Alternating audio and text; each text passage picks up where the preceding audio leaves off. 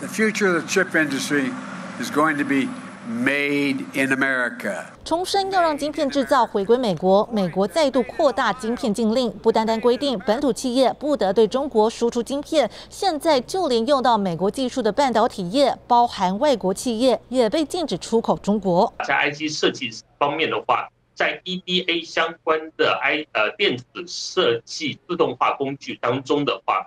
其实美国的三个公司市占率就已经高达了百分之七十，而我相信这个比重在台湾的 IC 设计产业应该会更高。专家评估，美国扩大禁令，到时台湾将没有任何半导体产品能外销中国，就连已经在中国设厂的台湾半导体公司也一样，严重冲击台厂订单。我想我们现在的政策是跟美国在配合为主，我们会不得已了我，只好配合他。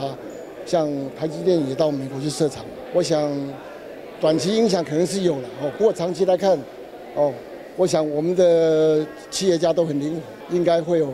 想办法来调试了。两大国晶片竞赛，华府智库战略暨国际研究中心表示，新措施能让北京倒退好几年。虽然不会让中国放弃晶片制造，但至少拖慢他们的速度。加上台海紧张局势升温，美国国家安全委员会估算，一旦中国入侵台湾，加上台积电损失，可能会对全球经济造成一兆美元的破坏，是半导体产业全球年销售额的两倍之多。传出拜登政府早已沙盘推演。如果中国武力犯台，最坏打算将优先撤离台湾半导体工程师。经济部随即发表声明，表示这并不是美国政府的意见，国际间也该体认，投资在台海区域的安全与稳定才是可长可久的最佳策略。一旦台湾不稳定，势必危及亚太区域，台湾不会是唯一受到影响的地方。台海不安，中国也将自伤。